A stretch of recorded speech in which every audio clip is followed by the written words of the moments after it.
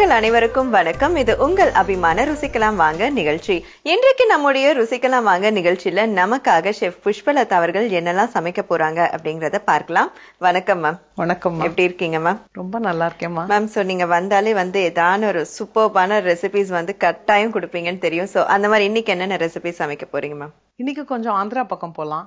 Okay அங்கிருந்து gongura chicken gongura சாதம். வா ஓகே சோ ரெண்டுமே வந்து சம ரெசிபிஸ் சோ ஃபர்ஸ்ட் என்ன மேம் செய்ய போறீங்க? Gongura chicken okay gongura chicken செய்வதற்கு தேவையான பொருட்கள் புளிச்சக்கீரை பச்சை மிளகாய் நல்லெண்ணெய் சிக்கன் வெங்காயம் தக்காளி மிளகாய்த்தூள் மல்லித்தூள் கருவேப்பிலை கொத்தமல்லி இஞ்சி பூண்டு கரம் மசாலா பட்டை ஏலக்காய் சீரகம் உப்பு. முதல்ல இந்த கீரையை வந்து தண்ணியில வேக வைக்கணும். கொஞ்சம் தண்ணி ஊற்றிக்கலாம்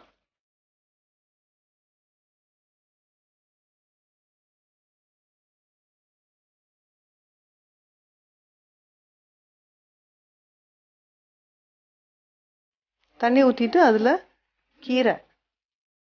நல்ல ஒரு ரெண்டு பிடி கீரை போட்டுக்கலாம்.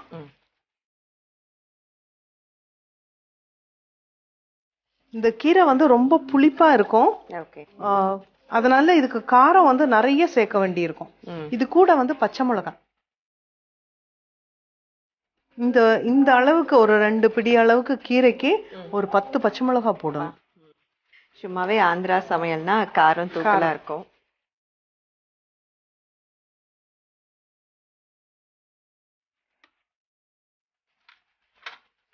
பொதுவா கீரைகளை மூடி வச்சு வேக வைக்க கூடாது அது ஓப்பன்ல தான் வேகணும். அதுக்குள்ள நம்ம இது கொஞ்சம் வேகட்டும். தண்ணி நல்லா கொதிச்சு இந்த இது கீரை நல்லா வெந்துடணும் சீக்கிரம் வெந்துடும் இது. இது கொஞ்சம் வேகட்டும். நம்ம அதுக்குள்ள சிக்கன் செய்யறதுக்கு தேவையானதை இதுல வதக்க ஆரம்பிச்சிடலாம். முதல்ல ஸ்டவ் ஆன் பண்ணிட்டு எண்ணெய் விடலாம் எப்பவும் சொல்ற மாதிரி சிக்கன்னாலே நல்லெண்ணெய்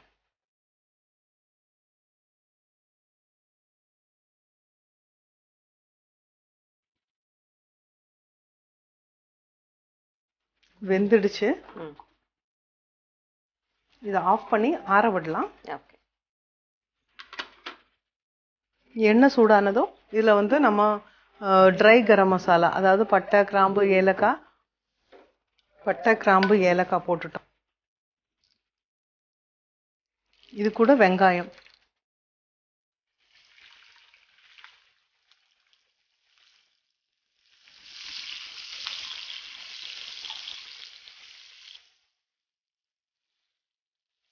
மிளகா வத்தல்.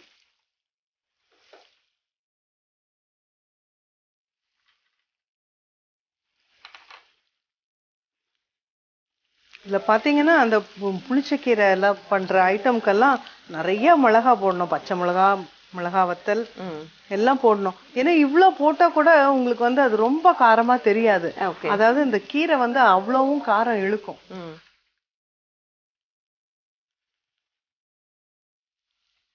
ஆந்திரா சமையல்ல கொஞ்சம் காரமா இருந்தாதான் டேஸ்ட் நல்லா இருக்கும். ஓகே.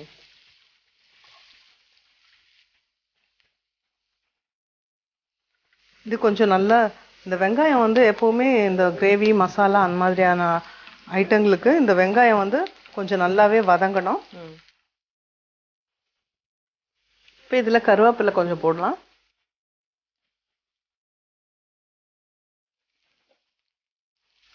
இஞ்சி பூண்டு.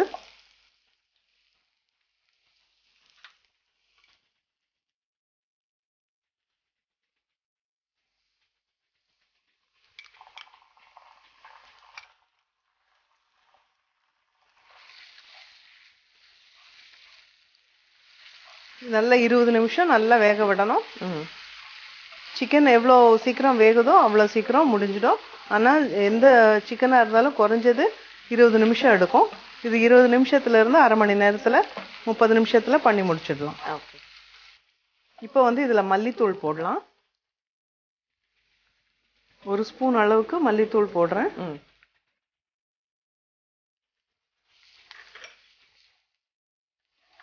இந்த மல்லித்தூள் வந்து எண்ணெயில நல்லா வதங்கி அந்த பச்சை வாசனை போகணும். ஓகே. அதுக்கப்புறமா இதுல மஞ்சத்தூள்.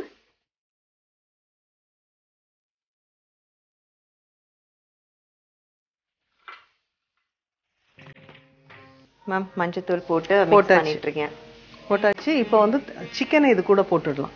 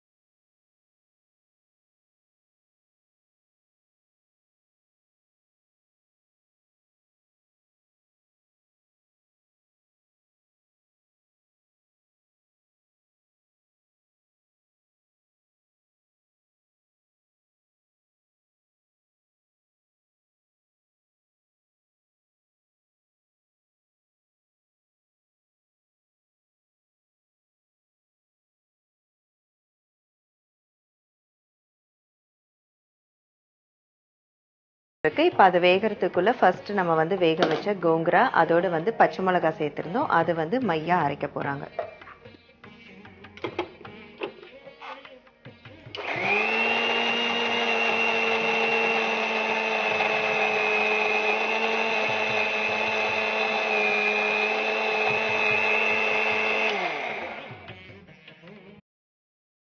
ஸோ இப்போ நம்ம கோங்குரா அரைச்சி எடுத்து வச்சிட்டீங்க மேம் அடுத்தது மேம் இப்போ சிக்கன் பத்து நிமிஷம் வெந்துருச்சு. இதை ஓபன் பண்ணிட்டு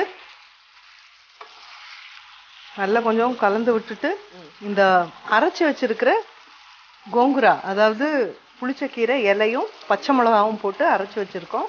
அதை இதுல சேர்க்கலாம்.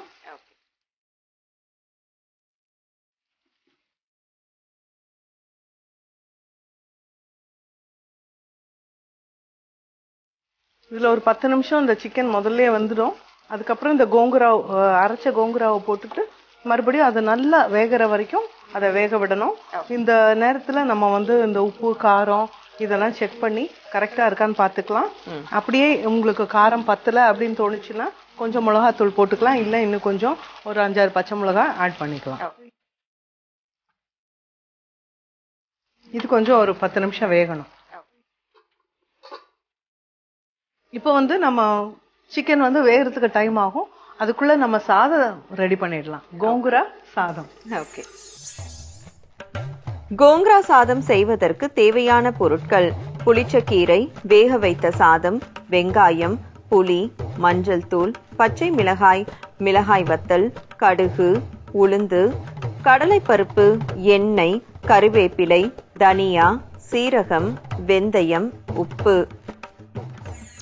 ஓகே இந்த கோங்குரா சாதம் வந்து ஏறக்குறைய நம்ம புளி சாதம் மாதிரி தான் புளி புளிக்கு பதிலா நம்ம இதுல வந்து வெறும் புளிச்சக்கீரை இலை.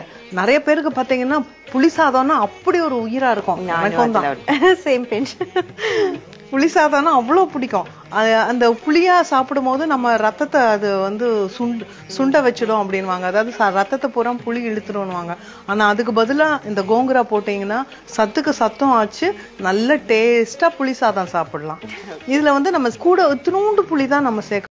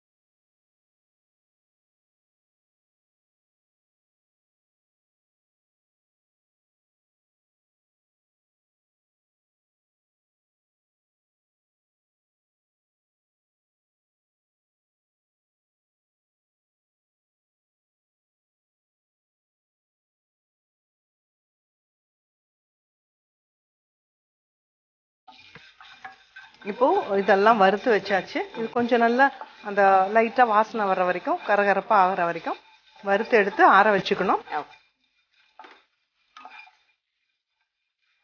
இது ஏன் யூஸ்வலா இத வந்து வெறும் வாணலிலேயே வறுக்கலாமான்னு கேப்பீங்க. ஆனா இதுக்கு வந்து இந்த சாதத்துக்கு எண்ணெயில வறுத்து போட்டாதான் நல்லா இருக்கும்.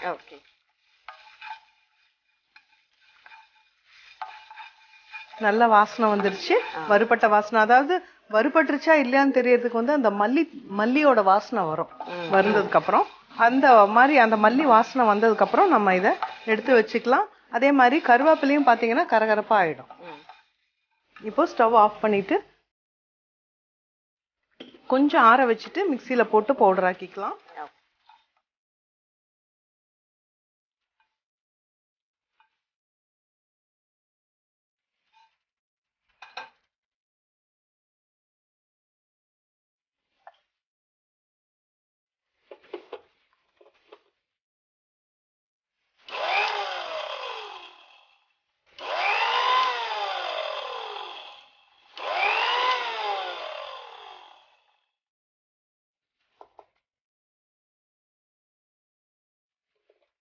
இது இந்த மாதிரி கொரகொரப்பான பவுடரா சேர்த்து அரைச்சி எடுத்து வச்சுக்கணும்.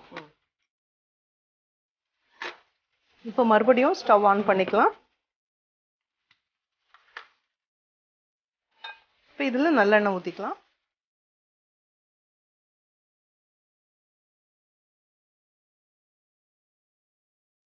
அப்புறம் நம்ம யூஸ்வலாக சாதத்துக்கு எப்படி தாளிப்போம்? கடுகு உளுத்தம் பருப்பு எல்லாம் போட்டு இதுக்கும் தாளிக்க போகிறோம்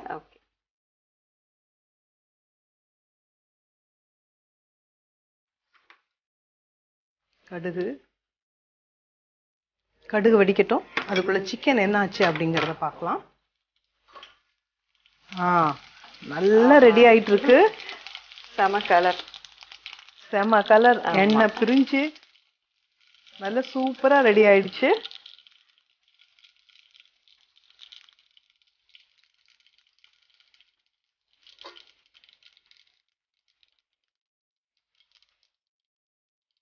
கடுகு வெடிச்சிருச்சு. உளுத்தம்பருப்பு ஒரு ஸ்பூன் போடலாம். கடலைப்பருப்பு. கொஞ்சம் வெந்தயம் ஒரே ஒரு பிஞ்ச். இதுக்காக ஒரே ஒரு நாலு வெந்தயம் மட்டும் போட்டா போதும். இப்போ மிளகா வத்தல். ஆஹ் நீங்க வந்து நீட்ட மிளகா போடும்போது கொஞ்சம் ஜாஸ்தியா போட்டுக்கலாம். ஏன்னா நீட்ட மிளகா காரம் குறைச்சல். இது போடும்போது கொஞ்சம் கம்மியா போட்டுக்கோங்க. இல்ல நிறைய போடணும் அப்படின்னு ஆசைப்பட்டீங்கன்னா இந்த காம்பை மட்டும் எடுத்துட்டு அப்படியே முழுசா போட்டுடுங்க. பிச்சு போடாம போட்டோம்னா அதுல காரம் அவ்வளோக்கா வராது. மிளகா வத்தல் இப்போ கருவேப்பிலை.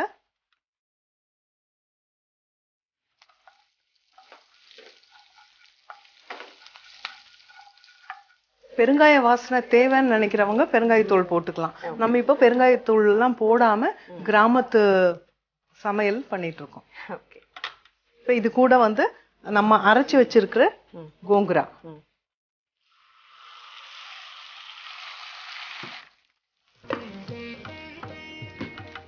இது கூட கரைச்சு வச்சிருக்கிற புளி கொஞ்சமா. ஓகே.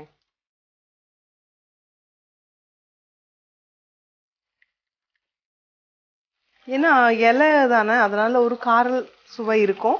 அந்த காரல் சுவையை அடக்கிறதுக்காக கொஞ்சமா புளி.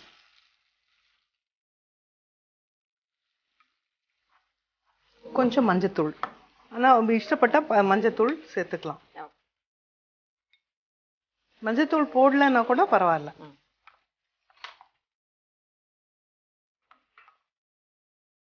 இந்த கீரை வந்து நம்ம ஏற்கனவே வேக வச்சதுனால கொஞ்சம் சீக்கிரமா ரெடி ஆயிடும். இது கொஞ்சம் வேகட்டும். இது கூட உப்பு போட்டுடலாம். இதுவும் உப்பு நல்லா இழுக்கும். ஓகே. கொஞ்சம் உப்பு போட்டுக்கோங்க.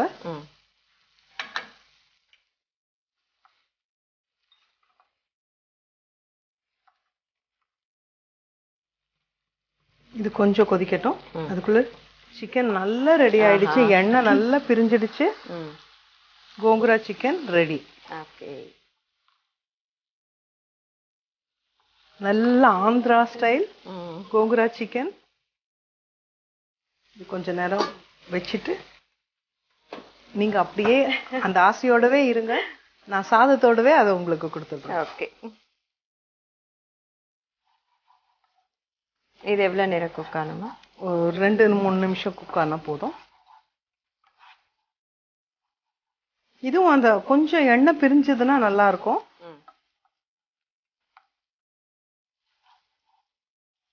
இந்த மாதிரி செஞ்சு எடுத்து நம்ம வச்சுக்கலாம். வச்சுட்டு அதை வந்து எப்போ சாதம் போட்டு கலக்கணுமோ அப்போ கலக்கிக்கலாம். இதே நீங்க ஒரு வாரத்துக்கு செஞ்சு வச்சுக்கலாம். நம்ம இந்த புளிக்காய்ச்சல் எப்படி காய்ச்சி வைக்கிறோமோ அது மாதிரி கோங்குராவும் ஆனா இது வந்து இலைங்கிறதுனால நீங்க ஃப்ரிட்ஜில் வைக்கணும். இல்லைன்னா அது வந்து அந்த பூச்சனை வந்துடும் இப்ப பாத்தீங்கன்னா எண்ணெய் அப்படியே பிரிஞ்சிருச்சு. இப்போ இந்த எண்ணெய் பிரியும் போது நம்ம செஞ்சு வச்சிருக்கிற பொடி. மிளகா வத்தல் தனியா எல்லாமே சேர்த்து நம்ம பொடி அரைச்சோம். அந்த பொடியை இதுல கலந்துடலாம்.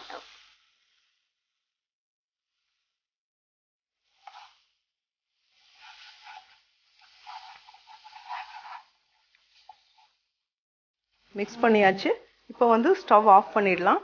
ஆஃப் பண்ணிட்டு இப்போ வந்து வெந் வேக வச்சு எடுத்து வச்சிருக்கிற சாதம் எடுத்து இதுல போட்டு கலந்துக்கலாம். இப்போ கொஞ்சம் அந்த சாதத்துக்கு வந்து இது கொஞ்சம் ஜாஸ்தியா இருக்கும்னு நினைக்கிறேன். அதனால ஒரு கிண்ணத்துல இதை எடுத்து வச்சுக்கலாம். இந்த இதே கூட நீங்க இட்லி தோசை அந்த மாதிரி ஐட்டமுக்கு கூட தொட்டுக்கலாம். இல்லையா மோர் சாதத்துக்கு ஊறுகா கூட வா கூட இதை எடுத்துக்கலாம்.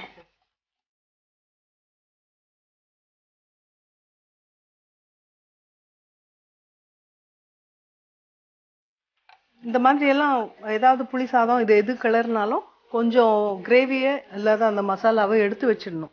அதுக்கப்புறம் பத்தலைன்னா போட்டுக்கணும்? முதல்ல போட்டு கலந்துட்டோம்னா அதுக்கப்புறம் அது ரொம்ப ஜாஸ்தியா போயிடும்.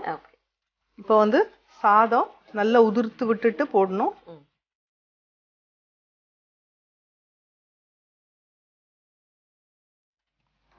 இது கூட கொஞ்சம் நெய் இல்லைன்னா நல்லெண்ணெய். இப்போ நம்ம நல்லெண்ணெயை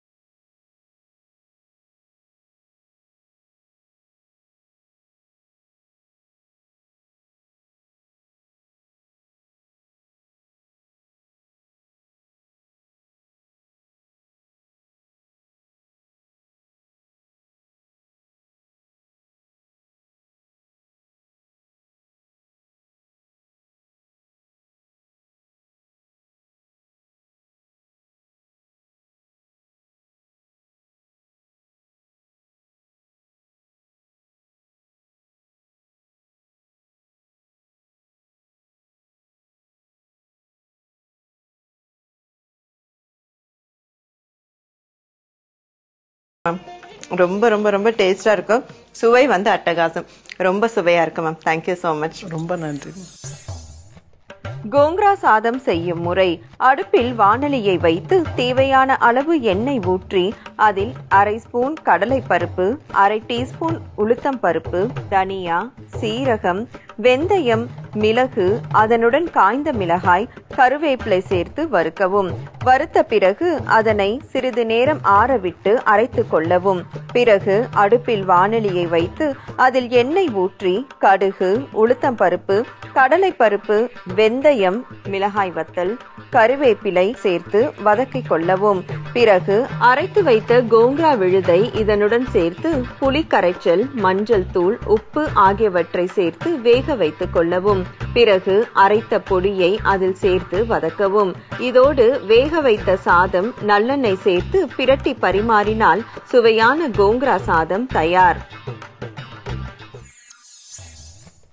கோங்ரா சிக்கன் செய்யும் முறை. அடுப்பில் வானலியை வைத்து தண்ணீர் ஊற்றி புளிச்ச கீரை பச்சை மிளகாய் சேர்த்து நன்கு வேக வைக்கவும். மற்றொரு அடுப்பில் வானலியை வைத்து நல்லெண்ணெய் ஊற்றிக் கொள்ளவும். எண்ணெய் காய்ந்த பிறகு பட்டை கிராம்பு ஏலக்காய் வெங்காயம் காய்ந்த மிளகாய் சேர்த்து வதக்கவும். பிறகு கருவேப்பிலை இஞ்சி பூண்டு சேர்த்து கொள்ளவும்.